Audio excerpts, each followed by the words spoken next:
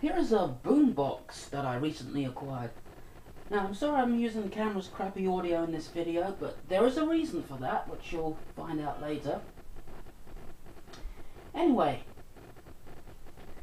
this thing has CD player, radio and of course tape, which is my favourite part of it. Speaking of which, let's see how the tape sounds.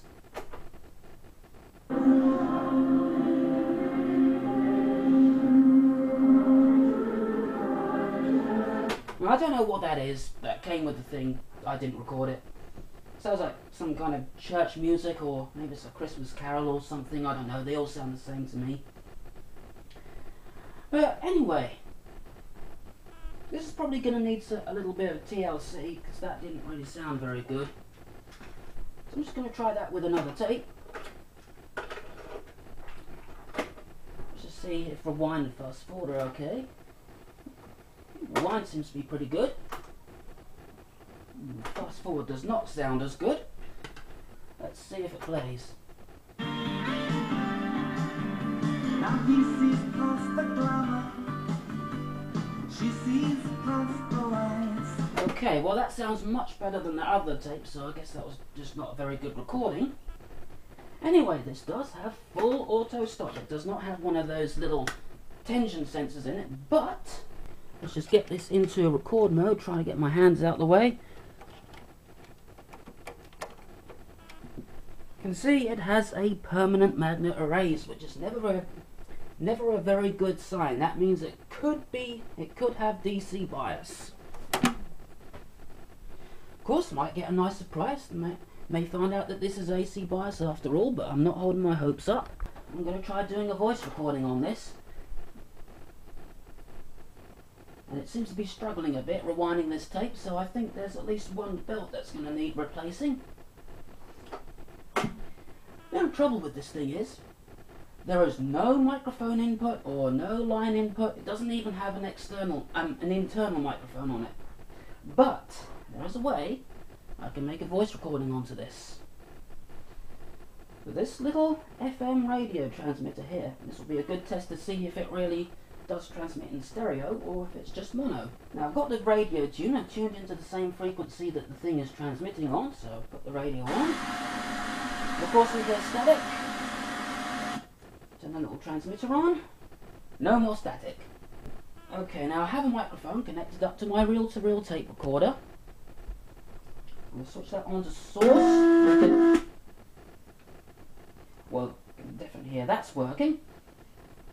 Let's just try to make that a little bit not so loud. We're definitely getting feedback through the boombox. You might be able to see when I, when I talk the meters are moving. So let's make a little recording on this. Let's turn the volume down to stop that feedback. Okay, recording on the tape, just waiting for the leads to get by. Okay, should be ready now, so here is a test, test of the Aiwa whatever it is, boombox, does it have a model number on it? Yeah, CSD E whatever. Let's test to see if this is recording and whether this is AC or DC bias. Right, let's rewind that and see it came out. Put it onto tape, turn the volume up. get by. Okay, should be ready now, so here is a test, test of the Aiwa, whatever it is, boombox. Does it have a model number on it? Yeah, CSD-E, whatever. Let's test to see if this is recording and whether this is AC or DC bias. Well, I think that's conclusive proof that this is AC bias. The permanent magnet erase is adding a little bit of noise onto the tape, but nothing really can do about that. Now I'm going to test whether this is actually in stereo. You won't really be able to hear it on the video, but let's put this onto radio. Yep, microphone is on. Right, okay. So, I'm now making another recording. I'm going to pan over to the reel-to-reel while I do this. Now I'm disconnecting the right input, so now we just have left channel sound. We should just be having left channel sound now. Now I'm going to connect those both in again. And we should have right channel sound. So this is testing, testing on the right channel. Testing, testing on the left channel. Okay, that should be it. Shout out goes to Clydeside on this one for using an FM radio transmitter to actually get the sound onto something that doesn't have an external input. I know he did something like this on one of his videos. Well, let's play this back and see how it came out. Although I'm going to play that back on, on one of my other machines so it can play it into the computer. Right, last thing to test is the CD player. Sonic R. Let's play that song that's supposed to have a curse on it. Let's see if it reads the CD. Okay. Yep, seem to be able to go through the tracks. Okay, let's see what we have here.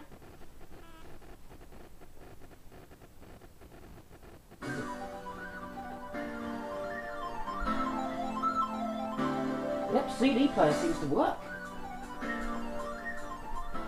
Hmm.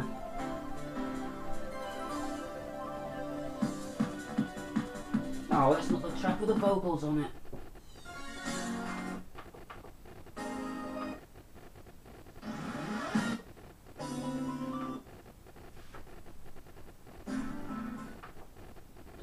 Track that's got... Okay, skipping a little bit there.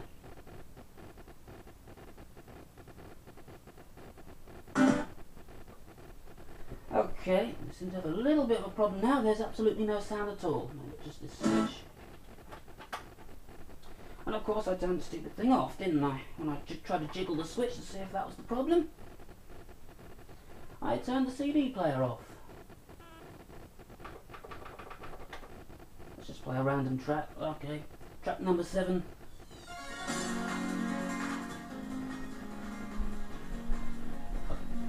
Okay, we don't seem to be getting any sound out of this speaker here.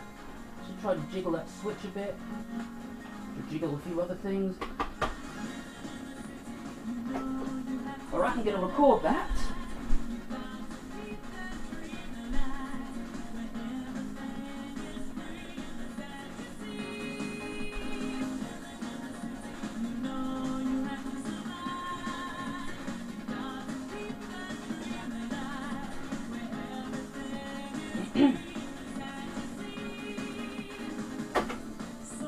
Certainly did get this for free. Anyway, go play that tape back now, and, um, well, we'll see how it works. Definitely is going to need some new belts. There does appear to be a little problem with the CD player where I'm not getting any sound out of the left speaker. That's going to have to be sorted out.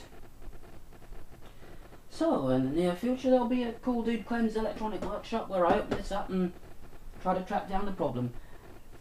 But for now, I'm going to leave you with what this recorded.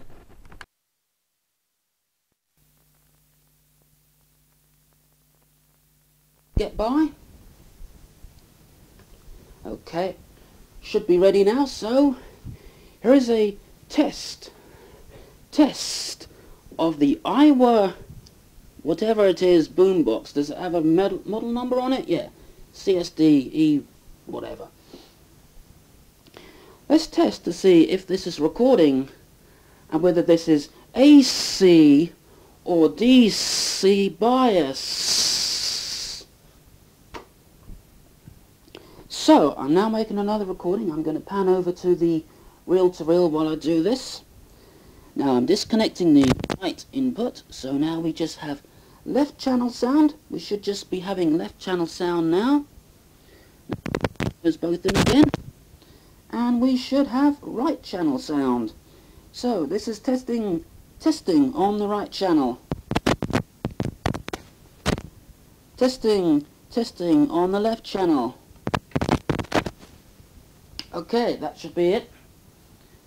Shout out goes to Clydeside on this one for using an FM radio transmitter to actually get the sound onto something that doesn't have an external input. I know he did something like this on one of his videos. Let's play this back and see how it came out. Although I'm going to play that back on, on one of my other machines so we can play it into the computer.